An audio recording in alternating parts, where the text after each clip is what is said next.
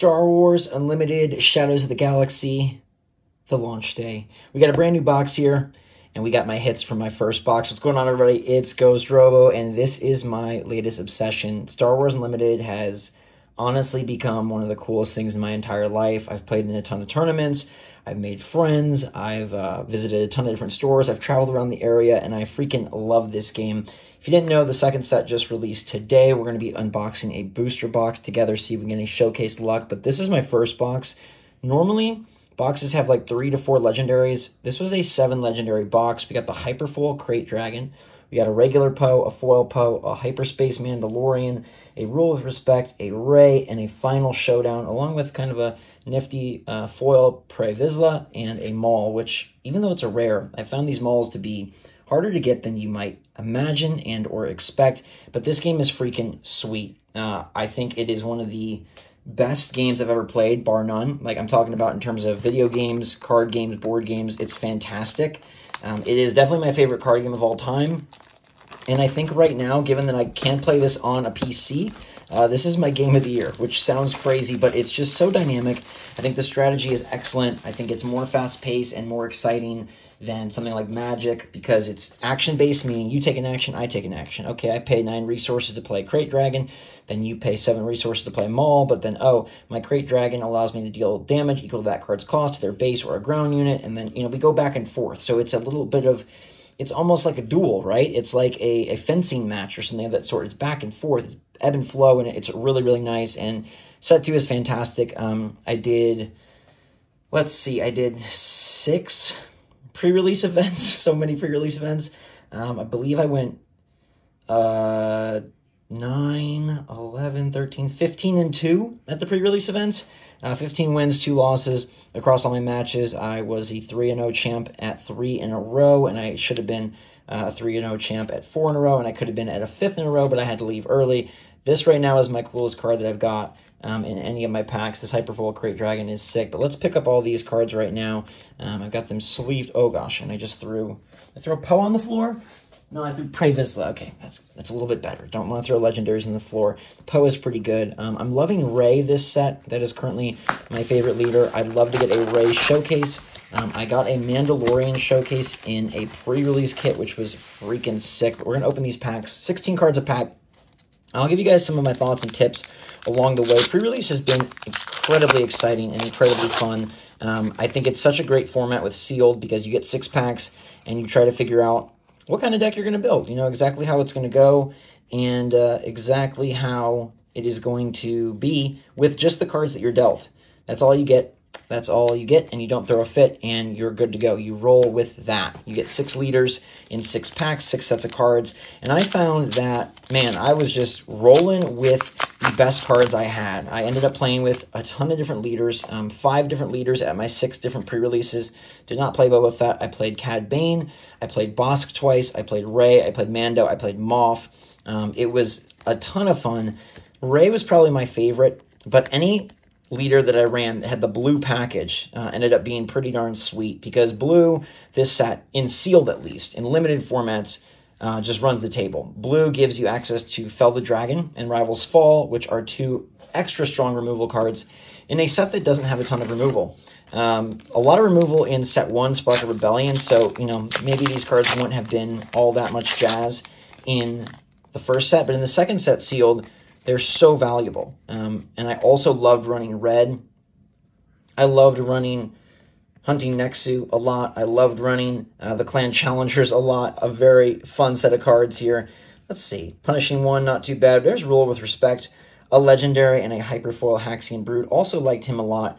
Uh, in my last Bossk deck, he was very strong, and I ran him in a Moff Gideon deck um, where I just loaded up on Bounty Hunters, and it was pretty sweet. Rule of Respect is a nice Legendary here. Friendly unit captures each enemy non-leader unit that attack your base this phase.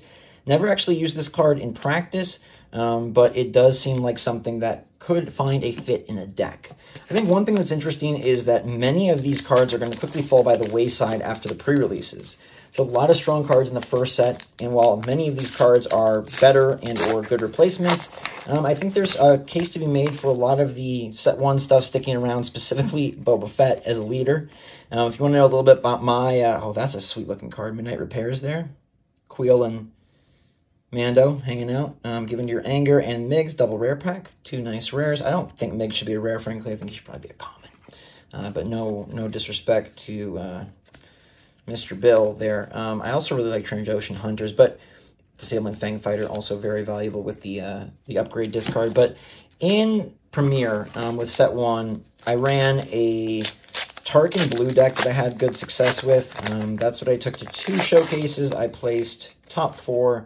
Um, and then I ran a, that's the Rivals Fall card I was talking about, defeat a unit. Just so good. This is like the first removal card that can target a leader, and I would just always save this for the flip turn. Boom, they deploy Rey or they deploy whoever, they're gone. Um, but yeah, the uh, the Sabine deck I ran was pretty good. Zorii Bliss is actually kind of under uh, undervalued. She's a strong card, especially with Smuggle being only 6 instead of her regular 5 cost. Jabba's Rancor won me some games as well. Um, I ran him in my Moff Gideon deck, and I was surprised that Gideon was as strong as he was. Um, I didn't know that he would be really any any good, and Gideon ended up being quite amazing. Uh, so I'm excited to see what I can run in set two.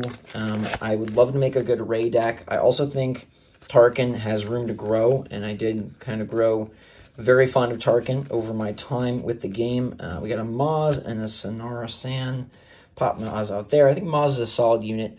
But the best part of this has all been just experiencing new cards for the first time in four months, playing and practicing and testing with all new cards and seeing what kind of crazy combos you can make. Um, I love the limited formats. I think sealed and draft are so cool. Draft where you get three packs, pick a card, pass it, pick a card, pass it, and make a deck that way.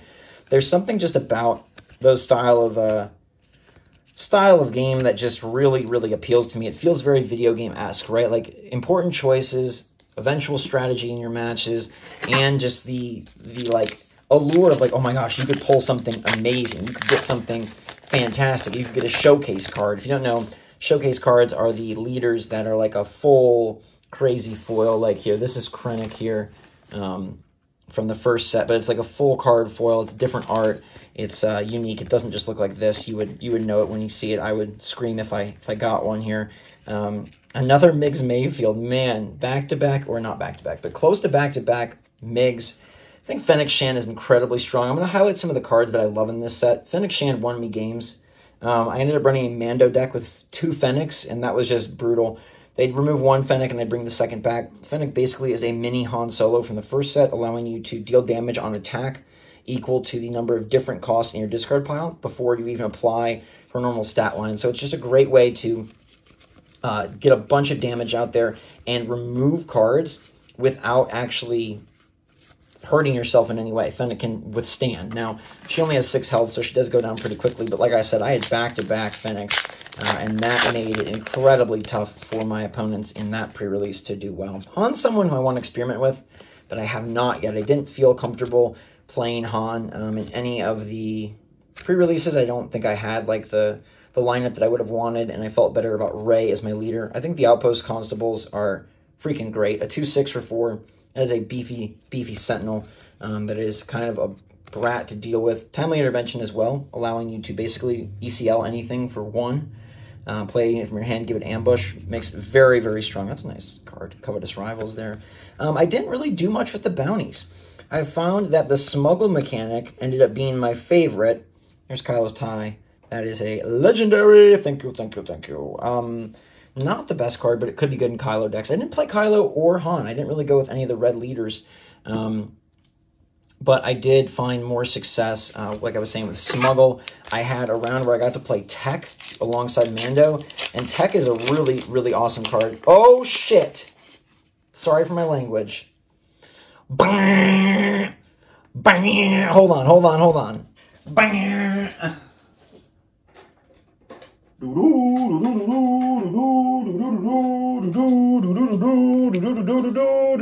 I have two. What do I do? What do I do now that I have two? Holy crap. That is a showcase hit, baby. Off the box. Straight from Asmodee themselves. Look at this card. Look at that foil. Look at that. And Mando comes in strong. If this set is not trying to tell me to build a Mando deck, I don't know what is. I've been talking about freaking Rey and my interest in building something maybe with Kylo or uh, Han Solo, but Mando, Double Trouble. These are freaking crazy. Showcase cards are supposed to be one every 12 boxes. We're rocking two. One from a pre-release, one from a box. Ooh, the only thing cooler than this, in my opinion, is the Rey Showcase. I think that's the best showcase in the set, but how can I complain? That is remarkable. I'm going to have to trade slash sell one of these ASAP because I definitely don't need to. Maybe both of them. How the heck does that work out? Yes, that's a beautiful hit. Let's see what else we got. The rest of the uh, the cards aren't going to be all that exciting, but I'm going to stick to my plan of telling you what we got going on. I like the rickety quad jumper at the beginning. It allows you to flip and potentially get an XP, but I found it to be too rickety. It's a card I ended up veering away from as I moved through my pre-releases. And I had more and more success as I went, as I zeroed in on the cards that I really liked, and I zeroed in on the synergies and packages. I, I honestly didn't use hardly any bounties, and I want that to be of note to you because bounties are probably the most notable addition to the game, but I didn't find them to be mandatory in any way. In fact, I ran decks and won the entire store pre-release without hardly any bounties or with one, maybe two bounties, and sometimes not even using them. Yes, when I ran Bossk, I played Rich Reward and got that once or twice, but I preferred having someone like Tech. Tech is so good because Tech allows every card to be smuggled. And smuggled means it goes from your resource row and you can play it. And that is so valuable, especially in limited formats, um, because it gives you access to all of the cards. The cards have extreme value because now every card can be played and every card is a threat. Your deck runs low, your hand runs low, they make you discard. Anything bad like that happens, and you are still a-okay. So Tech is super strong, a card that I didn't think looked that great on the previews, but ended up being great. Outlaw Corona is one that I did not like, but learned to appreciate because the bounty is bad. Put the top deck of your card, put the top card of your deck into play as a resource. Sounds terrible, and the opponent gets that when they kill it. But a 3-5 in space is difficult, especially in sealed or limited if you're ever playing draft or anything. Space is hard to come by, so unless someone makes a significantly uh, significant investment in space, Outlaw Corona is going to be okay. Anything with a 3-5 stat line for 3 is just very strong. Remember, that's the stat line of the Boba Fett unit in the first set that was widely regarded as the best, like, three cost unit in the entire game and maybe one of the best units overall in the entire game. But now we got liberated slaves coming in. We got Toro Calican coming in. Um, and we have multiple cards that are going to come in and fit in that really, really nice slot there that take A, some of the heat off Boba and allow for other cards to shine, and B, provide you with great options um, to really tempo out and make sure that you're staying in line with the curve and with what you need to do. Um, didn't like the Gamorrean Retainer as much as I thought. A 3-2 with Sentinel if you have another green unit. Two, dies too easy. Relentless Pursuit is a great card. This one really came through clutch um, with Bossk and Cad. It allows a friendly unit to capture a non-leader that costs the same or less, but if you're a bounty hunter, you get a shield, and that was so great. Capture plus the shield makes the card very difficult to destroy uh, and ends up being very, very nice. I, I, I didn't use a ton of attachments. Um, I pulled a Dark Saber in one pre-release, and I rolled Dark Saber, and people just targeted it immediately. They'd save their rival's fall, they'd take it out. I felt like it made me more vulnerable, but I still was able to do significant damage. Ooh, that's sweet. The Wookiees are back. Uh, and so there were times where it was still valuable, but it didn't strike me as as incredible as I thought. Um, that's another double rare pack, Hyperspace Altering, Pershing, pretty cool there. Uh, I do think Ketsu Onyo is a solid card, allowing you to defeat upgrades that cost two or less. That includes shields. Uh, that includes uh, XP tokens. So we are moving through this box. I think we're about halfway done. So far, we've got two legendary hits. Um, I'm hoping that we can get another, but the, the, the double Mando showcases from this weekend are just crazy, and uh, I cannot, you know, I can't complain. No matter what else is in this box, I cannot complain. Uh, there's Rich Reward, Hyperfoil Rich Reward. Like I said, nice card. You get that to proc even once with Bossk, who allows as a leader when he flips. Here he is. Um, he allows you to claim a bounty twice. That gets you 4 XP off Rich Reward. Super, super valuable. Um, and Gorr, I just took down immediately. I feel like there's some cards that are so strong, they get targeted immediately and they end up being weaker.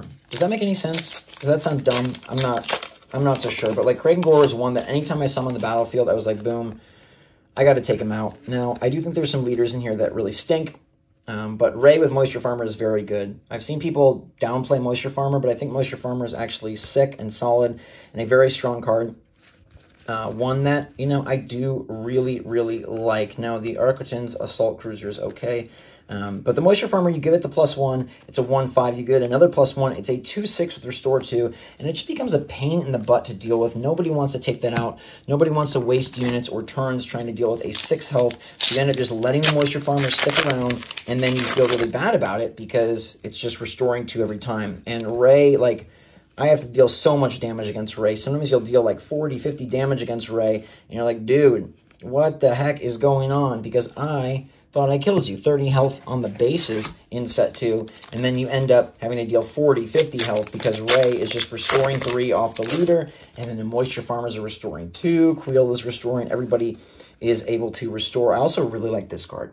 Covert Strength is nice, heal 2 damage from a unit, give an experience token to it. For one, that's ridiculous. Even just one for an experience token is pretty nice, but smuggling this later in the game ends up being very valuable. Back-to-back -back Merc companies, still think this is one of the best cards.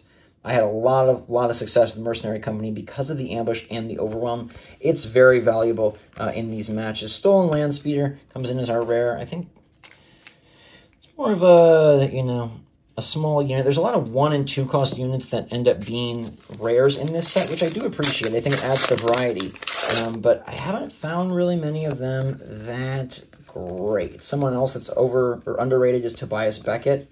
Um, oh, but this is this is probably my favorite card of the set thus far.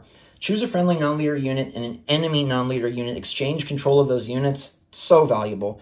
So valuable, especially in limited, when you can say like, oh, you know, I've got a reputable hunter out, and you've got a Pre Vizsla or a Krayt Dragon. Let's trade. Give me your Krayt Dragon, your 10-10 Overwhelm for my 3-4. And the whole game flips. The whole game flips. Um, I had a very tight match where someone had two of these and I still ended up tying them. Um, they kind of took me, slow played me to time, so we didn't get to get our third game and ended up going to a dice roll, which was a bummer. But two choose sides backs to back was a brutal hole to climb out of. Um, but I really love that card. I think it's so fun to get to make trades like that. Very cool. Wrecker, another very good card for uh, a red heroic deck. I do want to try out Poe, Han, Wrecker, Krayt Dragon, uh, Wild Rancor, kind of that set up there. Let's see, how many packs dump this box here? I think we still got, I'm sorry for that noise, still got five packs left. Let's see if we can pull another legendary. So far we're at two, right? Kylo's tie and um, whatever that one is called. One of the first cards we got down here. Rule with Respect. I'm not the biggest fan of event legendaries. I would much rather pull a unit legendary if it was up to me. Cartel Turncoat with the hyperspace there. There's Fell the Dragon. Defeat a leader unit, a non-leader unit with five or more power for four. Ends up being quite valuable. Oh, there is a sick foil Kylo Ren. General Rieekan is actually decent, allowing you to give Sentinel to something and a 5-7 body for 6, but sorry, General Rieekan, Rieekan, Rieekan, uh, you are falling victim to the mass attack of Kylo Ren. That's a foil Kylo, my second Kylo, trying to build out play sets of all these cards. Oh, and I am going to... Come on. Yes, that's very nice. That is a very nice card. I like that a lot. That's there's my two big hits. You know, the Mando showcase and Kylo, freaking great. And uh, I can't believe we opened the showcase on camera. I saved the right box, huh? I saved the right box, and getting a showcase is just so freaking awesome and so luckily survivor's gauntlet so the reason we got kylo by the way in case you're curious is because there is a rare slot and then there's a foil slot and we got General Rieekan in the rare slot, but then the foil slot can be anything. It's usually a common, maybe sometimes an uncommon, occasionally a rare, but a legendary can also be there. And that's how we popped a Kylo, even though, uh, you know, we already had used up our rare slot in that pack with General Rieekan. So it's pretty cool that you can get double rare packs. You can't end up with triple rare packs. Um, and there's a Rey. Sick. I got a Rey play set now, and I got another Kylo. That is very good. So we're at four legendaries for the box, which is about standard. The first box I showed you where I had seven was crazy. Um, boxes I've seen go down to three, which is kind of sucky. Um, oh, there's something cool in the back here. It's a Lurking Tie Phantom Hyperfoil. This card is really good. Qi'ra, nah, I don't really love the unit Qi'ra. Um, I think the... I mean, it's okay. It's kind of like a general... Uh, it's kind of like a governor, regional governor but on a four cost. But they can just they can still play it. It just costs three more. But Lurking Tie Phantom is very impressive because it cannot be taken out by captures uh, or card abilities. So you know, Darth Vader's ping cannot impact it.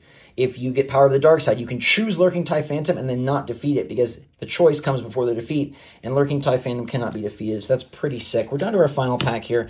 This has been a pretty successful uh, set thus far. Kylo's tie is not great, but in a Kylo deck, it could be pretty powerful. Um, and then Ruler of the Spect being another legendary. That's good. Four legendaries. Um, three were in the regular slot here. One, two, three were in the normal slot. Kylo was kind of an extra, so there's a chance that there's a fourth legendary in here. Um, a lot of boxes have four legendaries instead of you know another number, so there's a chance that we get another legendary here. Because Kylo was in a different slot, I kind of regard this as a three legendary pack um, because Kylo was in that slot, and we don't get it. So Kylo is going to end up, this is a three legendary box with Kylo in the fourth slot, so it's okay. It's still a four legendary set, uh, four legendary box, but the showcase just kind of makes up for all of it, and you just really, you really can't say much else except you got a freaking showcase. I don't think we had any repeating rares either. Let's check. Did anything repeat? Um, choose sides, land speeder. I think everything is a different rare this whole pack, which is, no, double Maz and double Migs. Okay. Um, we got some extra rares here. We ended up with 1, 2, 3, 4, 5, 6, 7, 8, 9, 10, 11, 12, 13, 14, 15, 16, 17, 18, 19, 20, 21, 22, 23, 24, 25, 26, 27. So effectively 27 rare or better cards in 24 packs. So that's pretty good. Um, at least three of them were double rare packs, which is very, very nice and a really successful box. I love this game. Maybe I'll make some deck tip videos or show you guys what kind of deck I am running. But again, cannot believe we pulled another Showcase Mandalorian on camera. The Holofoil Kylo is awesome. Another Rey, a Silencer, and some sick Hyperfoils here. Star Wars Unlimited is beautiful. If you haven't given it a try, even if you're not a fan of card games, I highly recommend it. This has blown me away and honestly changed my life for the better. As silly as that sounds, it's got me out of the house, it's got me making friends, it's got me meeting people, and it allows me to do something competitive now that I'm in my 30s and, you know, sports aren't really as much of an option these days. But yeah, look at that. That is sick.